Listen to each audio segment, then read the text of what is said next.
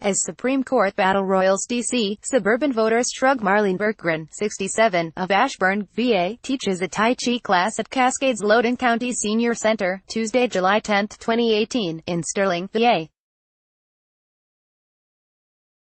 It stands to shift the direction of the nation's highest court for decades, but President Donald Trump's move to fill a Supreme Court vacancy has barely cracked the consciousness of voters in the nation's top political battlegrounds.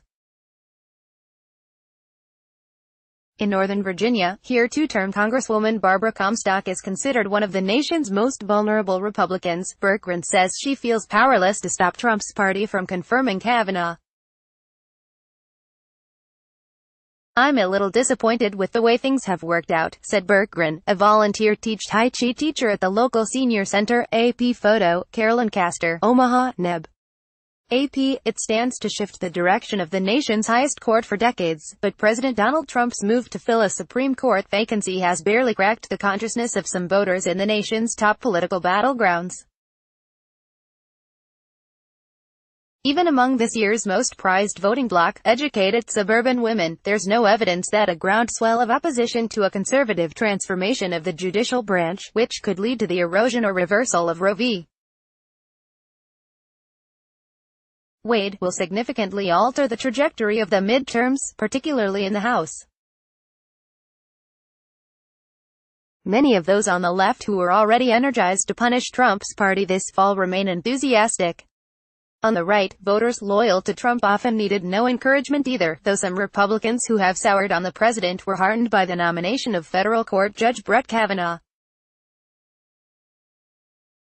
And those in the middle, Many said they weren't following the issue closely enough to have a strong opinion, despite the prospect of dramatic changes to America's customs and culture.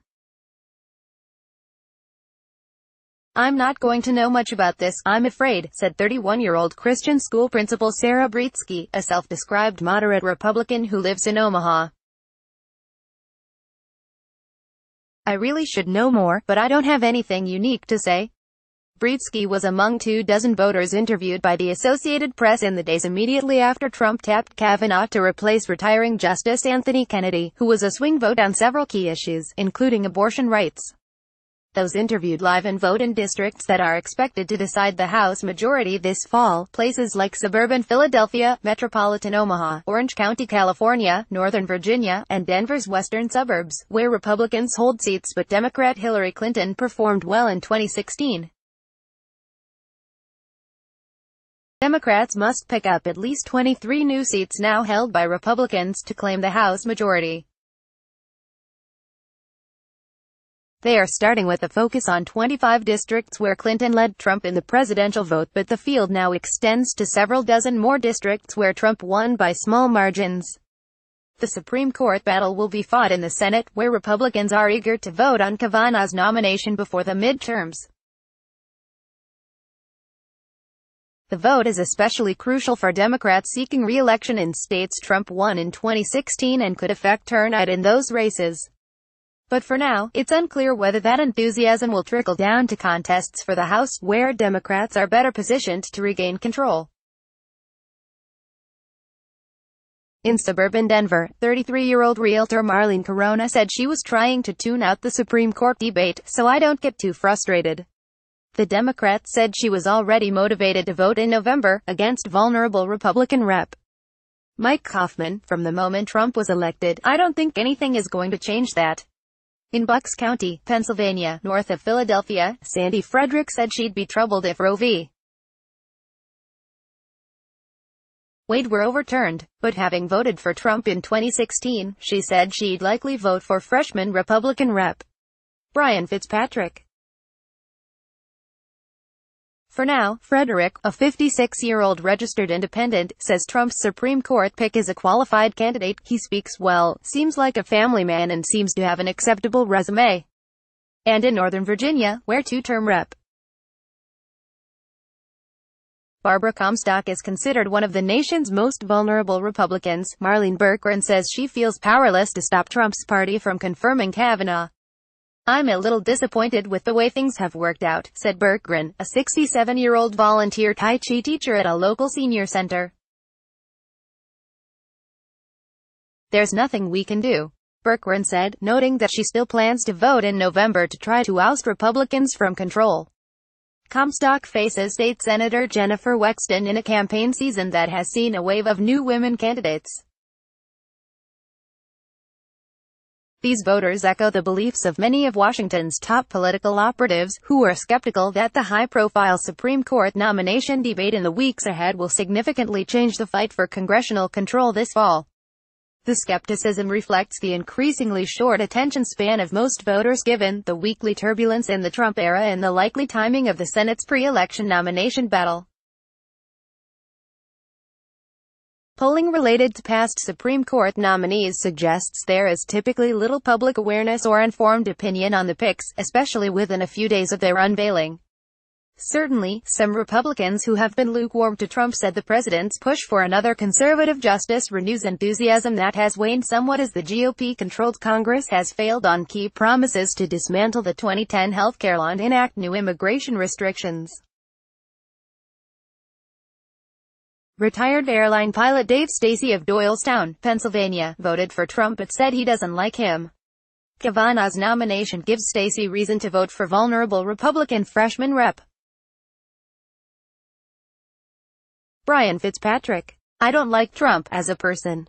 Stacy said, I think he's arrogant. But I like what he's doing. And Kavanaugh's profile serves as a powerful reminder for some Democrats of what they don't like about the Trump era. I think Trump doubled down on what divides us, said Gavin Lebowski, also of Doylestown. That pick isn't a reach across the aisle in any way shape or form. Despite the ambivalence from some, candidates in both parties are working to use the situation to their advantage. Democrats in Washington and in congressional districts are warning voters that a conservative shift on the court could negatively affect women's rights, health care and the special counsel's investigation into Russian interference in the 2016 election. The party enjoys a consistent advantage generically in polling ahead of the November 6 election, and the Kavanaugh nomination is expected to push more activists to volunteer and more donors to contribute to party causes, Democratic operatives said.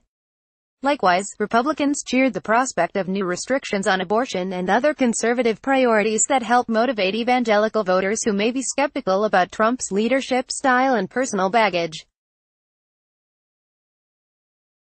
Still, Republicans will need suburban women, especially those like Republican-leaning Taylor Leesmeyer of Omaha, where first-term GOP rep.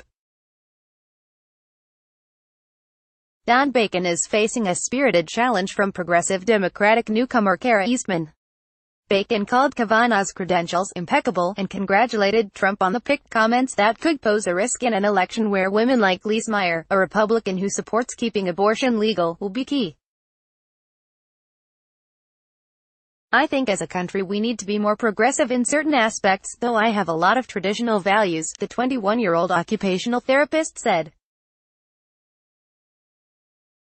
I think, as a woman, I should give other women that choice, underscore underscore underscore Associated Press writers Matthew Barakat in Loudoun County, Virginia, Marc Levy in Doylestown, Pennsylvania, Nicholas Riccardi in Centennial, Colorado, and Amy Taxin in Huntington Beach, California, contributed to this report. Copyright Copyright 2018 The Associated Press. All rights reserved. This material may not be published, broadcast, written or redistributed.